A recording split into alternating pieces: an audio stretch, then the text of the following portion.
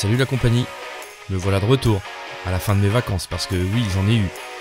Au même moment que le beau temps a pris les siennes, du coup, sur trois semaines, j'ai eu le droit à deux semaines et demie de temps pourri, mais bon, c'est le jeu, comme qui dirait l'autre. Quand on a fait notre balade, je t'avais montré comment ça se passe pour nous, organisateurs, photographes et filmeurs. Eh bien aujourd'hui, j'ai décidé de t'emmener voir comment ça se prépare sur le terrain. Il y a quelques mois, je t'avais aussi parlé de ma volonté de m'aventurer en off-road avec mon 1050 Vestrom. Eh bien, ça tombe bien, car mon pote Christophe, de Duke Acrobacy et ou Duke Enduro, m'a appelé il y a quelques semaines pour me demander de l'aide pour organiser une balade aller-retour Saint-Lô-Clécy avec 70% de route et 30% de off-road. J'ai donc tracé un parcours en essayant de respecter tout ça avec Kalimoto et une trace off-road que j'ai trouvée sur Wikiloc. Et maintenant est venu le temps d'aller faire la reconnaissance. Et là, ça promet. Pour le coup, on sera tous les deux gagnants, c'est sûr, dans l'histoire. Car de par son activité, Christophe il a le temps de rien. Et moi en fraude, j'y connais rien d'ailleurs. J'ai jamais vraiment mis les rousses du Vestrom dans la terre. Et puis j'ai ma condition physique aussi. Demain, tu sais, je suis pas sûr de gagner une course à pied face à l'équivalent d'un poisson rouge atteint d'une pneumonie. D'ailleurs, histoire de commencer à prendre soin de moi, j'ai fait comme Castaldi l'a dit à la télé, j'ai été sur Comme J'aime pour calculer mon IMC. Et au premier essai, le site a carrément planté. Et au deuxième, je me suis dit que j'étais pas forcément trop gros, mais certainement trop petit. Bref, la journée qui se reste devant moi va certainement m'en faire baver. Me voilà arrivé chez Christophe. Quoi? Tu connais pas? Attends, je te présente. Christophe, alias Duke, Juki pour les intimes, mais aussi enfoiré dans mes plus grands moments de solitude de cette journée. Cascadeur, stunter, enduriste, crosseux, formateur avec ses terrains privés où il pourra te donner des cours à toi, adulte, mais même à tes enfants. Enfin, là, si t'as pas compris qu'il est dans le monde de la moto, je sais plus comment t'expliquer, à part te dire d'aller sur son site et ses réseaux du Acrobatie officiel. Depuis 2000, Christophe fait partie des meilleurs stunters au monde. Et le temps d'une seconde, je me suis dit, tiens, pourquoi je lui ferais pas essayer mon Vestrom Bon,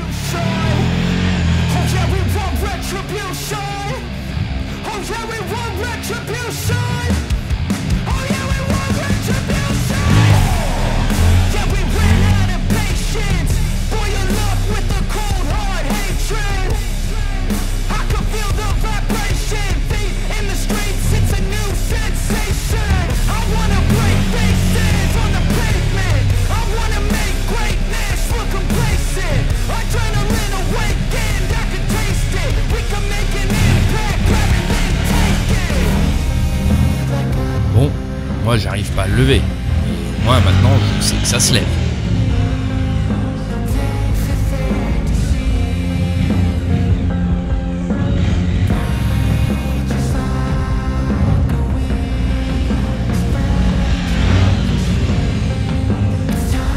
Bon, ça suffit Christophe. À la base, je suis pas venu là pour ça. On a une reconnaissance à faire, n'oublions pas.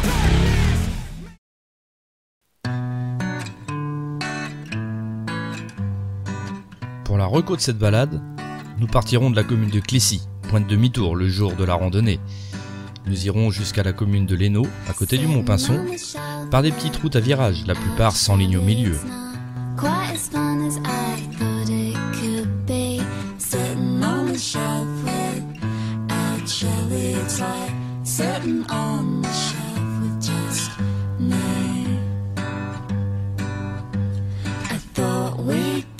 Je te laisse admirer et profiter du côté calme et paisible de ce début de balade. Moi tout seul, sur ma machine, et Christophe sur une 660 XTX super motard, accompagné d'une passagère, Célia, qui s'occupe de la communication chez Duke.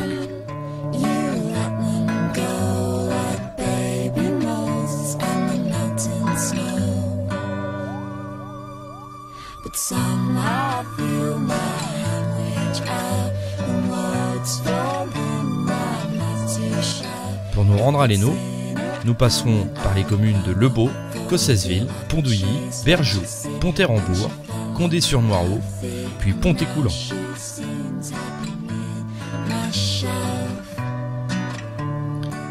Et c'est ici, dans ce petit village de Lénaud, à côté au Mont-Pinçon, que va démarrer pour moi ma première aventure off-road. Afin de pas impressionner Christophe par l'absence totale de talent de pilote en moto, je le laisse volontiers passer devant à l'entrée du premier tronçon off-road. Surtout, pas de panique, je respire fort, je stresse, parfois j'ai presque peur. Et puis je me dis pourquoi pas moi? Pourquoi les autres y arrivent? Pourquoi j'y arriverai pas? Je suis pas venu jusqu'ici pour me dégonfler devant un mec qui fait de la moto depuis si longtemps, qui saura sans doute m'aider dans les moments les plus compliqués. Alors je me lance. Je le suis.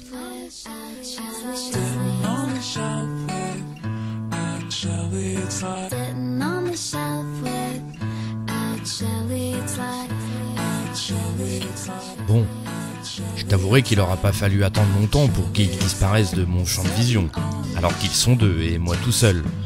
Mais ça c'est pas grave, j'y vais à mon rythme, le principal c'est d'aller au bout d'une manière ou d'une autre. Quand tout à coup, je me rends compte que la pente s'accentue légèrement qu'à une vingtaine de mètres devant moi, le chemin a l'air de littéralement plonger comme s'il s'arrêtait là. Je vais donc décider de m'arrêter et jouer la sécurité pour aller voir à pied ce à quoi je devais m'attendre.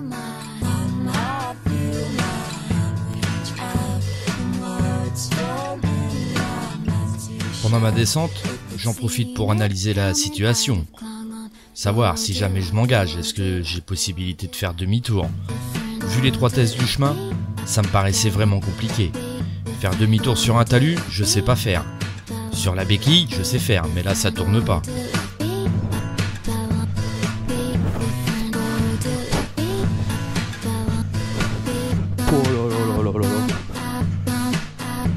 Le petit guet en fond de vallée, il aura eu raison de mon courage.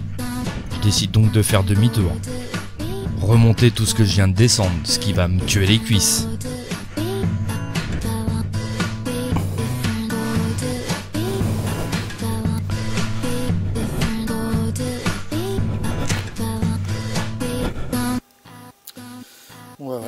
Premier couac de la reconnaissance.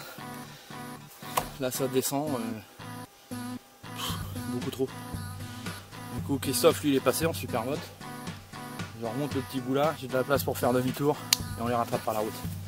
Eh, Je suis pas un baiser.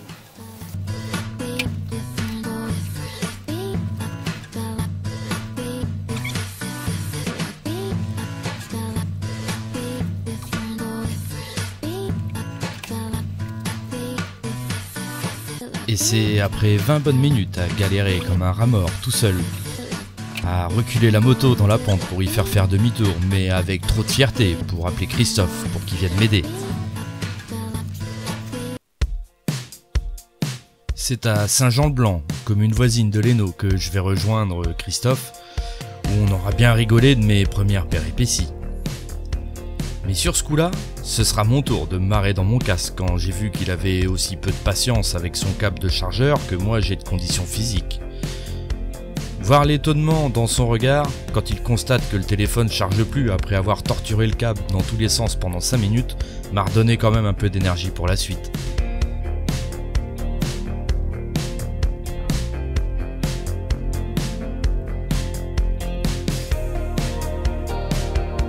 On continue donc notre parcours sur les chemins entrecoupés de petites routes en direction du zoo de Jurk.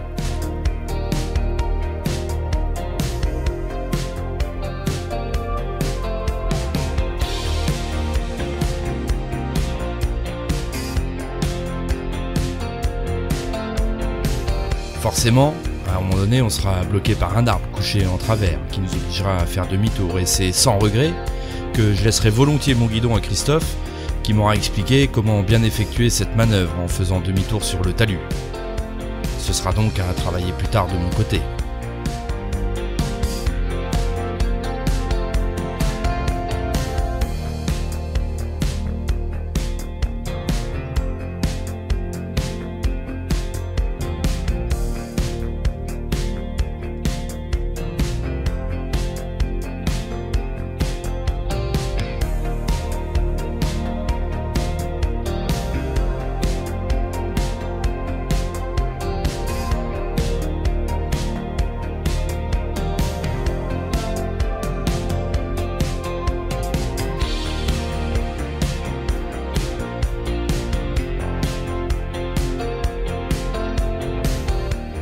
Force de conseil de la part de Christophe et de persévérance de la mienne, je commence à me sentir un peu plus à l'aise et augmenter le rythme en passant les 25, 30, 40 km heure sur certains tronçons de chemin.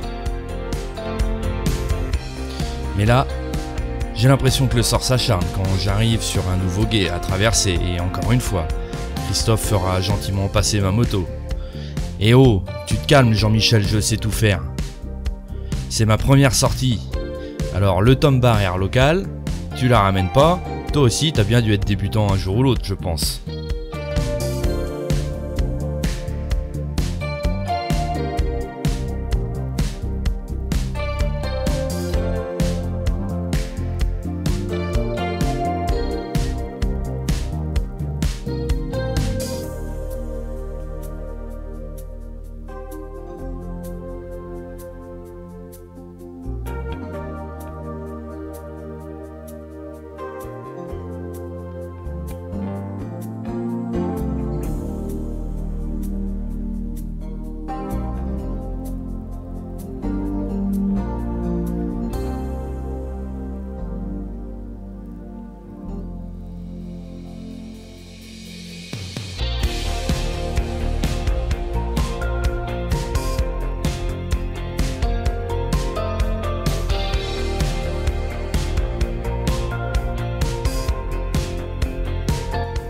À ma grande surprise que je m'étonne moi-même à passer des descentes que je n'aurais peut-être pas euh, su faire rien que deux heures plus tôt.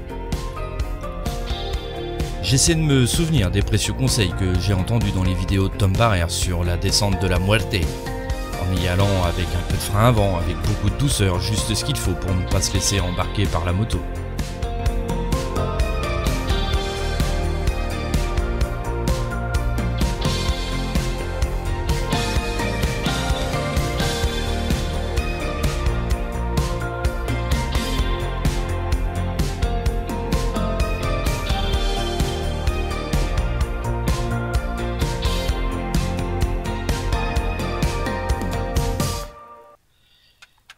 Et au fil des kilomètres, je me rends compte que les chemins deviennent de plus en plus techniques pour moi, alors j'essaie de me détendre.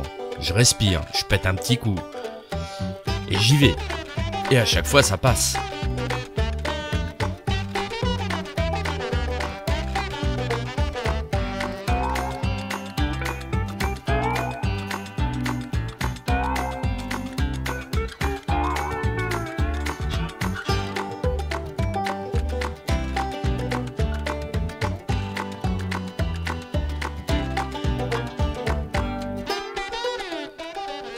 Crois bien que pour moi, c'est déjà une première victoire. Sincèrement, je prends confiance en ma machine, mais aussi en moi. Peut-être un peu trop.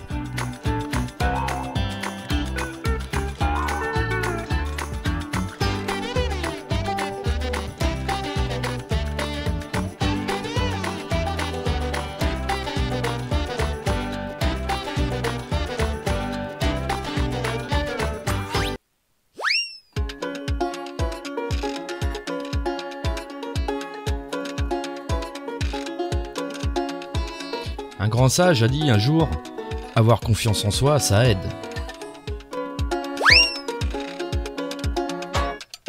Je t'en foutrais, moi, du ça aide. Dans mon malheur, je suis content parce que la GoPro est tournée. Au moins, vous aurez eu ma première vraie chute avec mon Vestrom. Dieu merci, pas de casse. Avant de m'aventurer dans les chemins, je l'avais équipé de crash bar, de protection en tout genre. Et au final, les protections ont joué leur rôle. Elles ont protégé.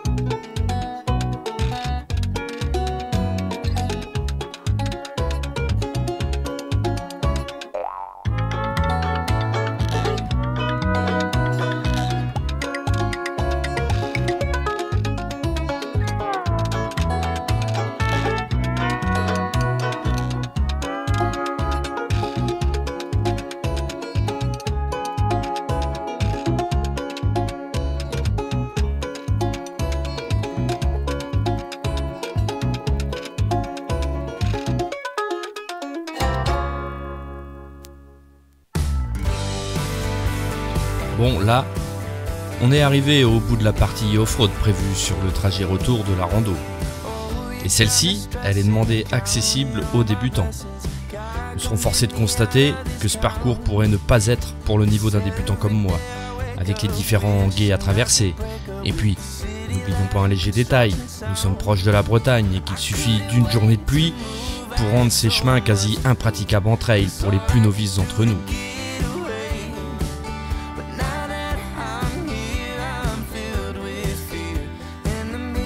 Avec mon faible niveau, nous finirons la partie terre à l'heure où j'aurais espéré être arrivé déjà sur Saint-Lô.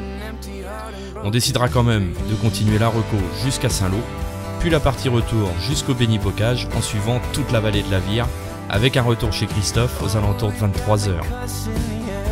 Nous marquerons quand même l'arrêt prévu aux Roches du Ham, sur les hauteurs de la Vire, sur la commune de Condé-sur-Vire, pour y faire quelques photos et plans au drone pendant le début du coucher du soleil, à peu après 20h.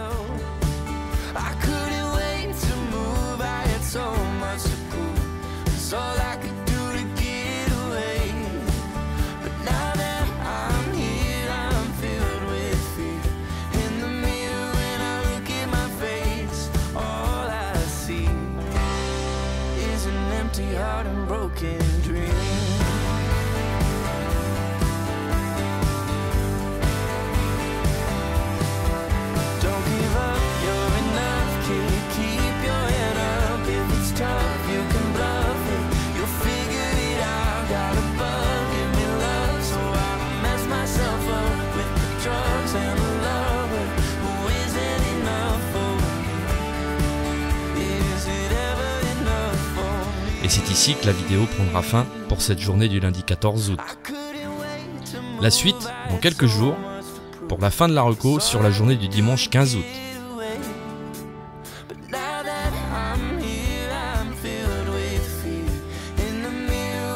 Salut